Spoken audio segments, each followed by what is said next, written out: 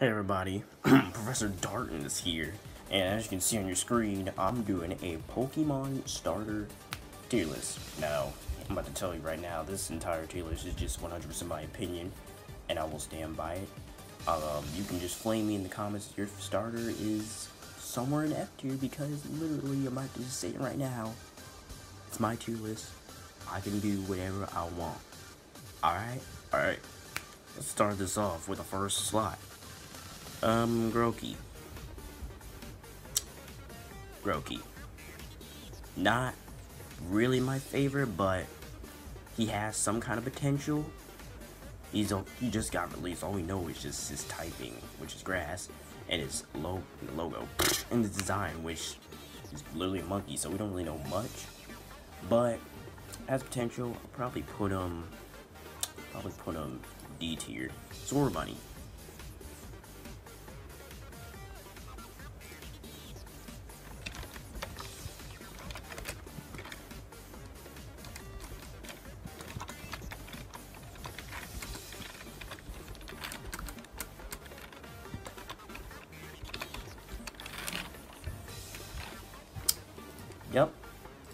That's the thing. F tier. Sobble. Um.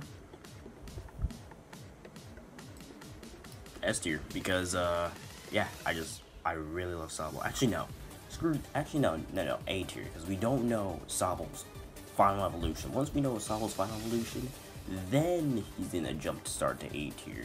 And plus Sobble just looks adorable.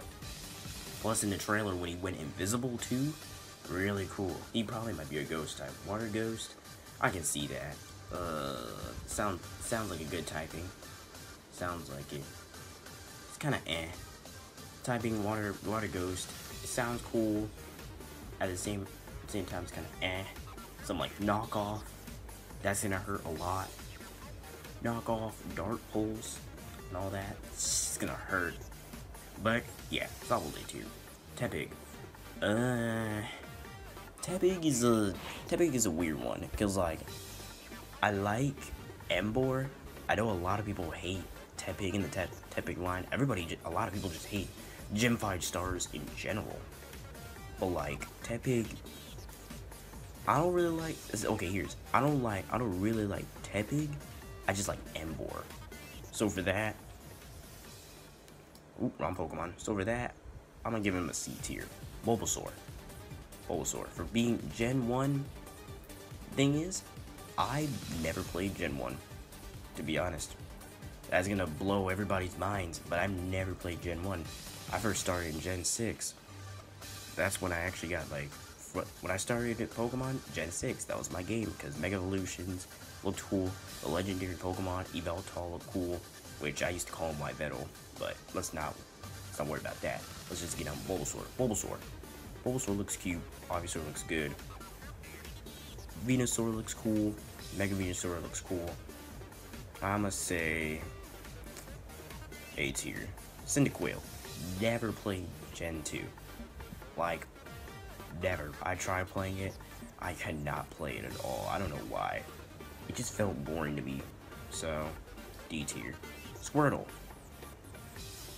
Squirtle. Since never playing, never playing Gen 1, but I've used Squirtle before. Wartortles, War Turtles alright. Blastoise is epic. His Mega is dope. I've used his Mega plenty of times in, in games and competitively. He's Mega Blastoise is alright competitively. Not the best thing because his speed is slow. I mean, he's a giant walking turtle with cannons. He's not going to be the speediest thing on the freaking list. So, Squirtle, um, I'm going to go B tier. Piplup. Again, never played Gen 4. I'm ne but I never chose Piplup, so eh, Piplup was kind of eh to me. So I can't really give it, I can't really give him a, a spot on the list, because I, I just don't know. I just don't really know. D tier, Froakie. Oh, you guys already know. That's a definite S tier right there. Oh my god. That is li literally Gen 6. From starting Gen 6, the first Pokemon I ever started with was actually Froakie. And it was the right choice, because he looked freaking cool. Protean, Protean Greninja anyone? Ash-Greninja anyone? Competitive scene?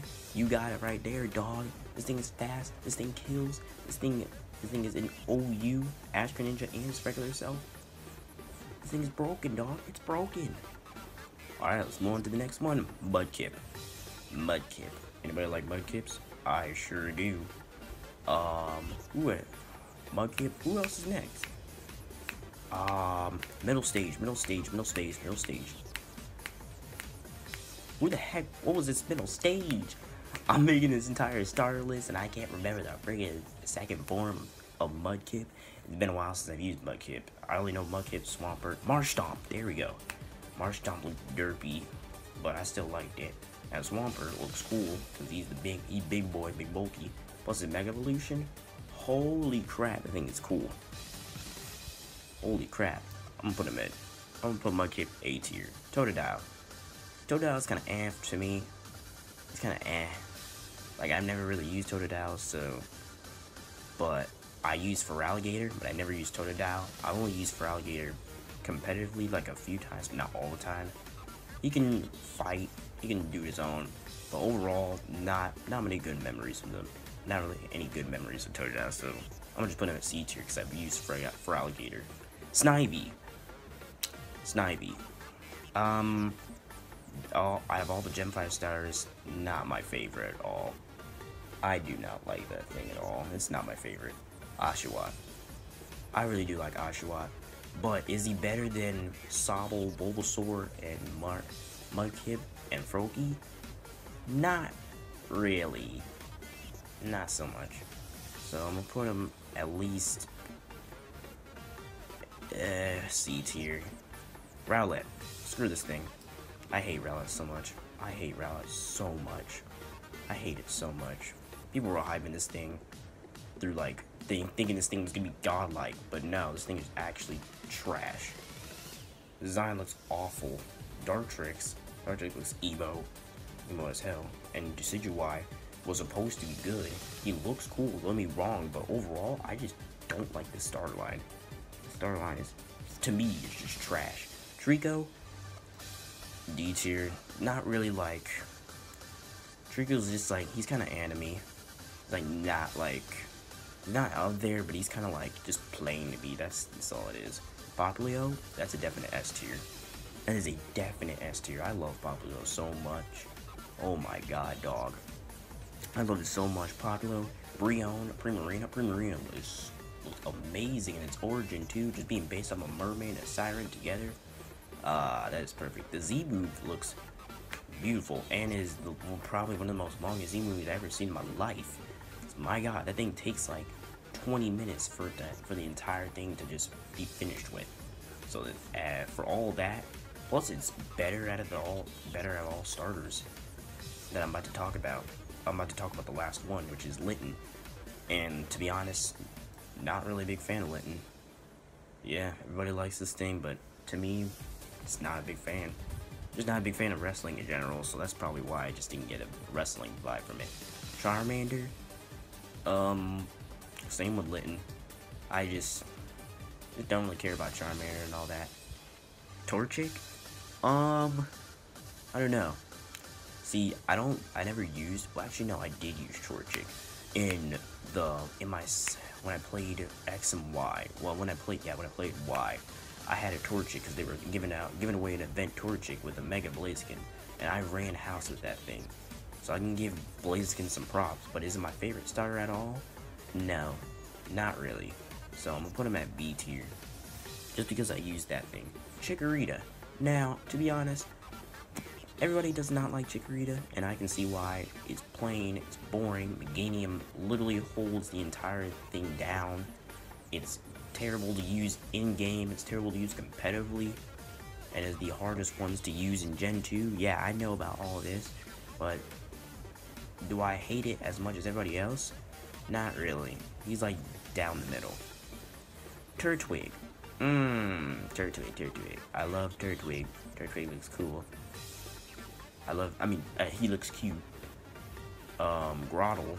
Grotle's, Grotle's alright. Torterra, he looks dope, but he's very hard to use in Gen 4. I played with, like, I played with him a little bit, but not, like, super a lot, so I'm gonna give him, like, I'm gonna give him the A tier because he was pretty, Torterra was pretty good on my team. Like, okay, so here's a story about me starting Pokemon. I started at 6th Gen, but when I um, heard about more the other generations, that's when I bought the other games and started playing them. So, yeah, just to let you guys know. Chespin. Chespin's kind of anime. He's kind of eh. I know, I know about everything and stuff, but he's just kind of eh. Fennekin. Oh, Fennekin. Let's, let's talk about this one. Let's talk about a starter that literally is like the second worst starter that everybody in this world hates. I know there are a lot of people who love Delphox and Fennekin this entire line, But my god, Delphox. Delphox holds the whole entire thing down. Braixen is, to be honest, a lot better than Delphox. And that says a lot because I actually have a competitive Braixen and a competitive Delphox, but I use Braixen a lot more because Eviolite. Plus, Braixen can do a lot better than Delphox. So, just for breaks and helping out the team, holding it up, um, C tier. Chimchar. Um, no. No. No. I just, uh, I don't know. There's some, there's something just about Chimchar that just, I don't know. It's just kind of plain to me, but Chimchar, if I had to decide, he's just F tier. I don't know. I just, I just have no, I literally have no love for this Pokemon. I just don't think about this Pokemon at all. So, so, there you guys have it. Boom. There's my tier list of all the starters. Froakie, Popplio, and S tier, A tier, Sobble, Bulbasaur, Mudkip, and Turtwig, B tier, Squirtle, Torchic, C tier, Tepig, Totodile, Oshawott, Chikorita, and Fennekin, D tier, Grookey, Grookey, Cyndaquil, Piplup, yeah, Piplup, Treecko, Litten, Charmander, and Chespin. And then F tier is Scorbunny, Snivy, Rowlet, and Chimchar. So if you guys enjoyed this tier list, you want to see another one, hit that like button down below, subscribe, and I'll see you guys the next video. Later.